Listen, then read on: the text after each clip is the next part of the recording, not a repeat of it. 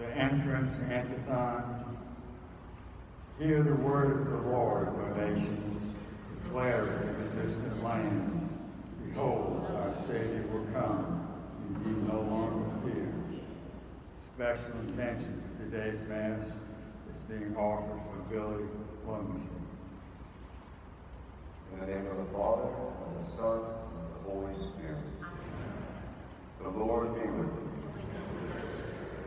Brothers and sisters, let us acknowledge our sins and so prepare ourselves to celebrate the sacred mysteries.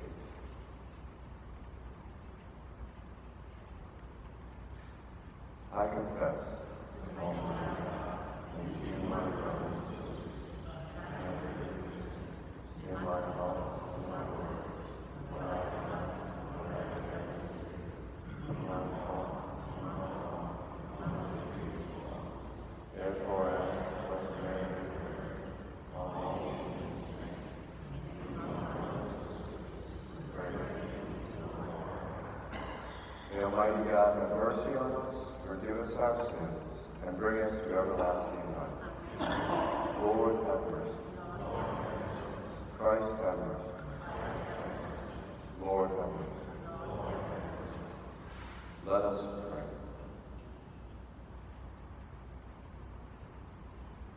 May our prayer of petition rise before you, we pray, O Lord, that with purity unblemished, we, your servants, may come as we desire to celebrate the great mystery of the incarnation of your only begotten Son, who lives and reigns with you in the unity of the Holy Spirit, God forever and ever.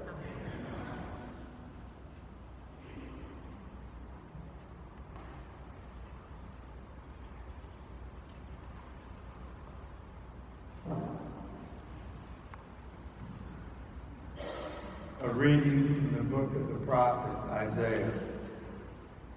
The desert and the parched land will exalt. The steppe will rejoice and bloom. They will bloom with abundant flowers and rejoice with joyful song. The glory of Lebanon will be given to them, the splendor of Carmel and Sharon. They will see the glory of the Lord, splendor of our God. Strengthen the hands that are feeble. Make firm the knees that are weak. Say those whose hearts are frightened, Be strong, fear not. Here is your God. He comes with vindication, with divine recompense. He comes to save you. Then will the eyes of the blind be opened, the ears of the deaf be cleared. Then will the lame leap like a stag. Then the tongue of the mute will sing. Streams will burst forth in the desert and rivers in the steppe. The burning sands will become pools, and the thirsty ground springs of water. The abode where the jackals lurk will be a marsh for the reed and the, and the papyrus. A highway will be there called the Holy Way. No one, no one unclean may pass over it, nor fools go astray on it. No lion will be there, nor beast of prey go up to be met upon it. For it is for those with a journey to make, and on it the redeemed will walk. Those whom the Lord has ransomed will return and enter Zion singing, the crown with everlasting joy. They will meet with joy and gladness. Sorrow and mourning will flee. The word of the Lord. The responsorial song, I will hear what God proclaims. The Lord, for he proclaims peace to his people. Near indeed is his salvation to those who fear him, glory dwelling in our land. Our God will come to save us. Kindness and truth shall meet, justice and peace shall kiss. Truth shall spring out of the earth, and justice shall look down from heaven. The Lord himself will give his benefits. Our land shall yield its increase. Justice shall walk before him, and salvation along the way of his steps.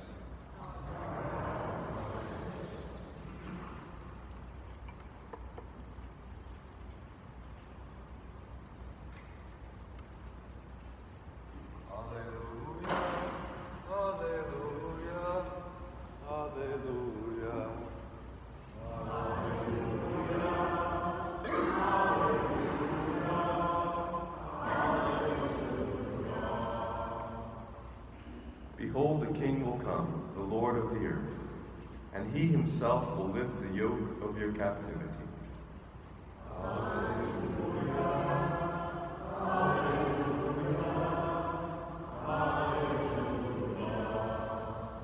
The Lord be with you. A reading from the Holy Gospel according to Luke. One day, as Jesus was teaching, Pharisees and teachers of the law, who had come from every village of Galilee and Judea and Jerusalem, were sitting there, and the power of the Lord was with him for healing. And some men brought on a stretcher a man who was paralyzed. They were trying to bring him in and seat him in his presence. But not finding a way to bring him in because of the crowd, they went up on the roof and lowered him on a stretcher through the tiles into the middle in front of Jesus. When Jesus saw their faith, he said, As for you, your sins are forgiven. Then the scribes and Pharisees began to ask themselves, Who is this who speaks blasphemies? Who but God alone can forgive sins? Jesus knew their thoughts and said to them in reply, What are you thinking in your hearts?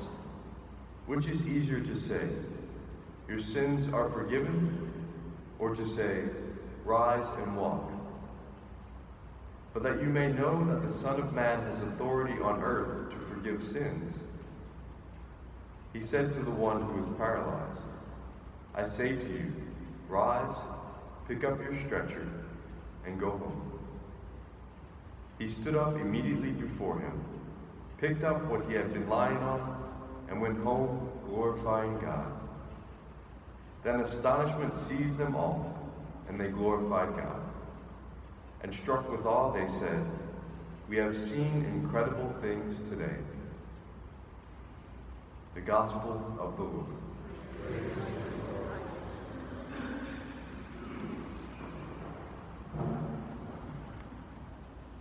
Yesterday's Gospel at Sunday Mass started out with some historical facts, and I recounted how history wasn't my favorite subject growing up, and often I would begin history lessons with, how does this apply to me, this history? Um, hopefully I did an okay job yesterday showing that the Word of God, uh, the Gospel, applies to all of us in our lives. I did, however, enjoy English in school. I like to analyze poetry and read literature. Um, I like the poetic devices the authors use, um, such as personification, where they give like a human characteristic to something that is not human. When a poet says something like, the sun sang the glory of God. We know the sun can't sing, but we know its beauty can move our hearts to sing glory to God ourselves. In fact, all of God's creation can move our minds and hearts to Him. The created world indirectly points us to God, our Creator. We all have something in our lives that moves our hearts to God. Maybe it's beautiful weather, or the smile of a child or grandchild. Whatever it is, God's creation heals our souls and moves our minds to Him. In our first reading, Isaiah writes in a beautiful poetic style. And we hear a lot from Isaiah during this uh, season of Advent. His readings are, are deep and rich and are good for reflection and prayer. Isaiah writes, The desert and the parched land will exult. The steppe will rejoice and bloom. He gives human characteristics to the land, saying that they will exult and rejoice. He's predicting the coming of the Messiah. The coming when Jesus will be such, when, will be such a glorious day that even the desert and the land will sing praise to God. Isaiah was pointing the Israelites to the coming of the Messiah, Jesus. And I'm sure on that day that he was born, the whole world rejoiced in glory. Creation definitely and directly points us to God. But Jesus, our Savior, directly links us to God. Jesus became man to be the mediator between God and us. When Jesus comes to meet us again, there will be great joy and gladness, and sorrow and mourning will flee. When he comes again, we'll see him face to face in all his splendid glory. We won't need creation to point us indirectly to God. We will see the face of Christ in God, in Jesus. But brothers and sisters, the good news is we don't have to wait for his second coming.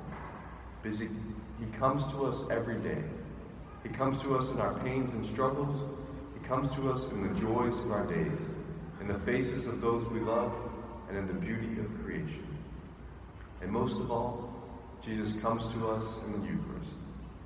And when he does, he heals our pains and our sufferings, and he says to us, Take up your stretcher and walk. Your faith has saved you. So as you receive our Lord today in the Eucharist, allow him to heal the pains of your heart. And let your heart exult in our God, our God who comes to save us.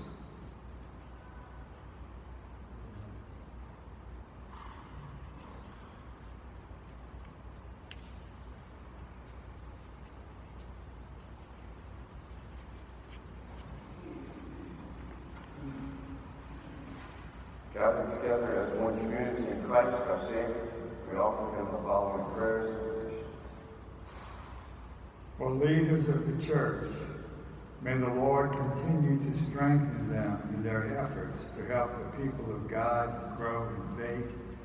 Let us pray to the Lord. For elected officials, may God grant them fortitude in fighting for what is right and just in service to their constituents. Let us pray to the Lord. For all who have suffered as a result of violence or abuse, may God's healing love comfort and support them. Let us pray to the Lord. For peace in our world, for the men and women of the armed forces, wherever they serve our nation, and for the safety of all first responders who serve our communities, let us pray to the Lord. For an increase in vocations to the priesthood, religious life, and permanent diaconate in our archdiocese, let us pray to the Lord. Let us now pause to add our own intentions in the silence of our hearts.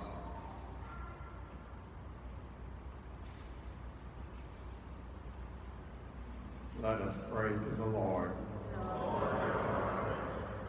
Loving and faithful God, you alone heal and comfort our hearts. We open them to you so that we may prepare for the coming of Jesus, who lives and reigns forever and ever. Blessed be you, Lord God of all creation. For through your goodness we have received the bread we offer. Fruit of your every work of human hands will become for us the bread of life.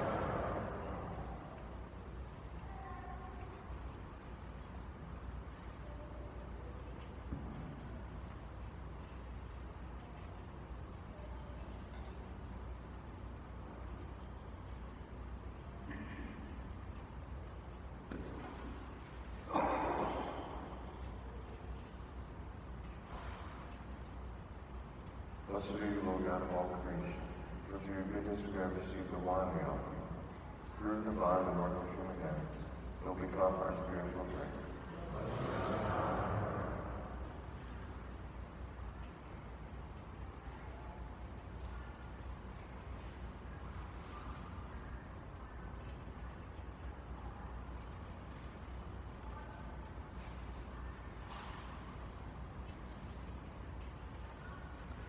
Pray, brothers and sisters, that my sacrifice and yours may be acceptable to God, the Almighty Father.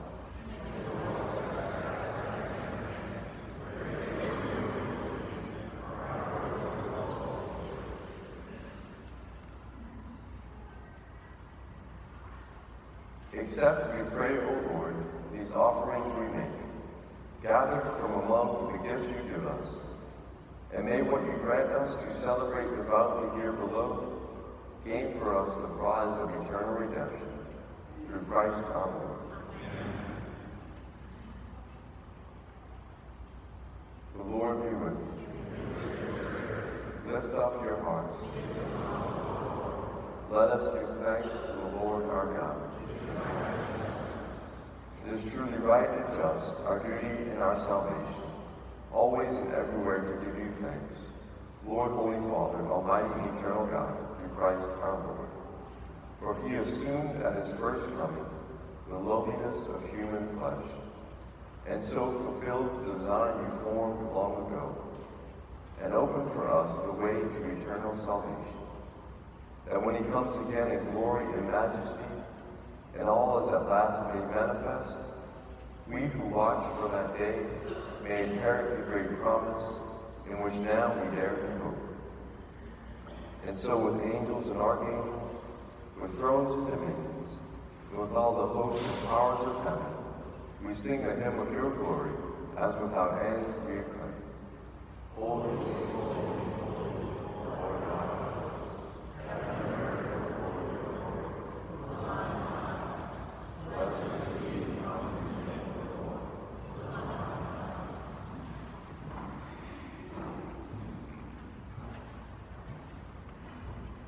You are indeed holy, O Lord, the font of all holiness. Make holy, therefore, these gifts we pray, by sending down your Spirit upon them like the dewfall, so that they become for us the body and blood of our Lord Jesus Christ. At the time he was betrayed and entered willingly into his passion, he took bread, and giving thanks, broke it and gave it to his disciples, saying, Take this, all of you, and eat of it, for this is my body, which will be given up for you.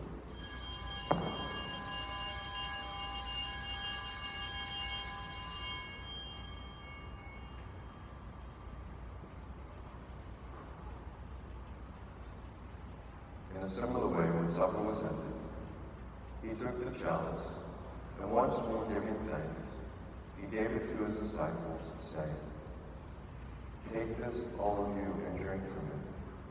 For this is the chalice of my blood, the blood of the new and eternal covenant, which will be poured out for you and for many for the forgiveness of sins. Do this in memory of me.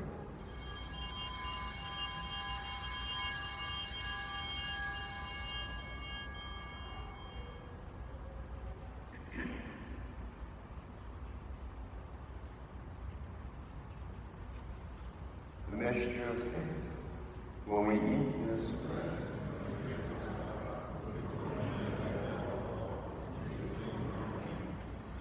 Therefore, as we celebrate the memorial of his death and resurrection, we offer you, Lord, the bread of life and the chalice of salvation, giving thanks that you held us worthy to be in your presence and minister to you. Humbly we pray that partaking of the body and blood of Christ, we may be gathered into one by the Holy Spirit. Remember, Lord, your church, spread throughout the world, and bring her to the fullness of charity, together with Francis our Pope, and Gregory our Bishop, Sharif's assisting bishop, and all the clergy. Remember also our brothers and sisters, who have fallen asleep in the hope of the resurrection, and all who have died in your mercy. Welcome them into the light of your face. Have mercy on us all, we pray, that with the Blessed Virgin Mary, Mother of God, with Blessed Joseph, her spouse, with the blessed apostles and all the saints who please you throughout the ages, we may merit to be co-heirs to eternal life, and may praise and glorify you your Son, Jesus Christ. Through him and with him and in him, O God, Almighty Father, in the unity of the Holy Spirit, All glory and honor is yours forever and ever.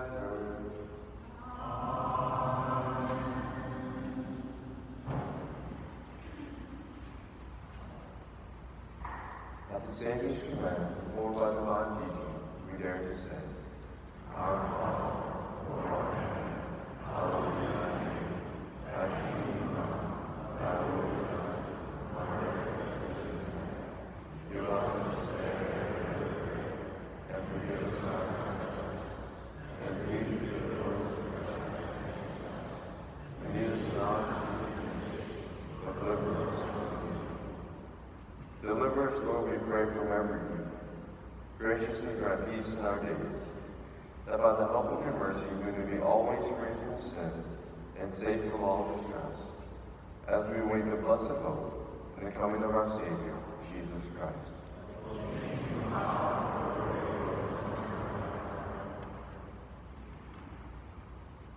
Lord Jesus Christ, who said to your apostles, Peace I leave you, my peace I give you. Look not on our sins, but on the faith of your church, and graciously grant her peace and unity in accordance with your will, who live and reign forever and ever. The peace of the Lord be with you always. Let us offer each other a sign of peace.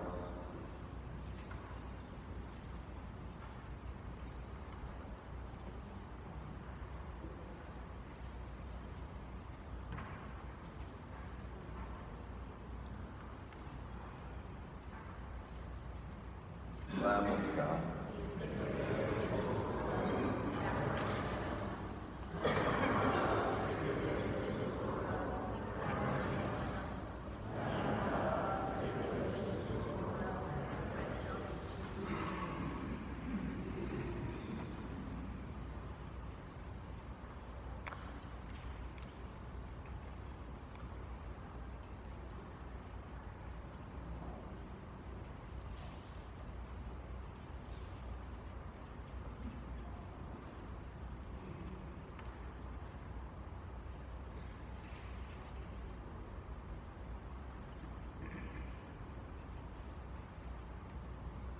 Behold the Lamb of God.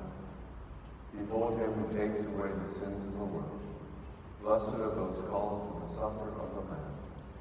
Lord, I am not worthy to receive from my Lord, but only say the word of my soul.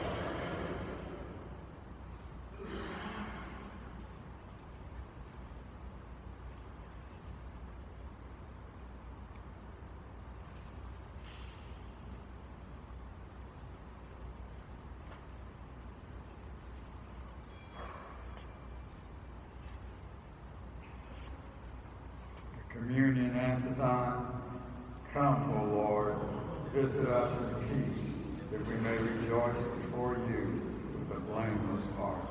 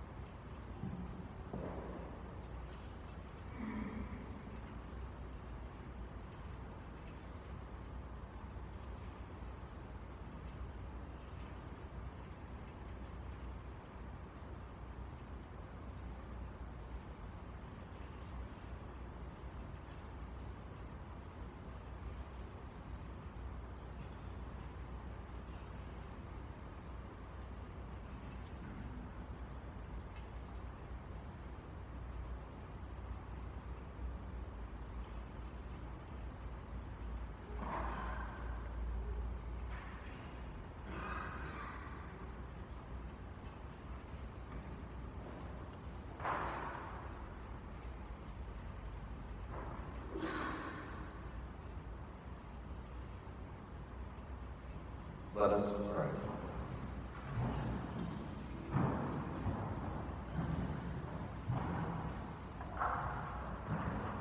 May these mysteries, O Lord, in which we have participated, profit us, profit us, we pray. For even now, as we walk amid passing things, you teach us by them to love the things of heaven and hold fast to what endures, through Christ our Lord.